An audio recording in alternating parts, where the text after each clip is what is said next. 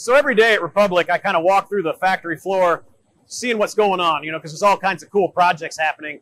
What I noticed today is a number of enclosures, and we've been doing more and more enclosures for our blowers. So I'm to pull a side off here. This is a HRC 502. So you can see it's kind of got a nice magnet uh, pull off. Inside's the blower. You still have your filter, but it's a nice clean enclosure on the outside here. We've got your relief valve and your gauges. So this is just one. We're going to show you a few more here in just a minute, but I'll put the side back on. And you can kind of see magnet locks on, and there it is. So here's another um, regenerative blower enclosure we have on the floor. This is a HRC 1300, so it's a little bit bigger than the last one that we showed you. It's a bigger enclosure. Let me open this baby up.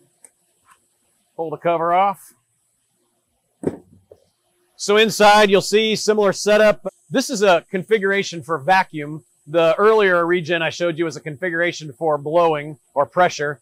So the relief valves inside, uh, our filters on the outside here, and everything's enclosed, nice, clean. Um, you know, this is a great way to reduce your noise and keep the pump clean.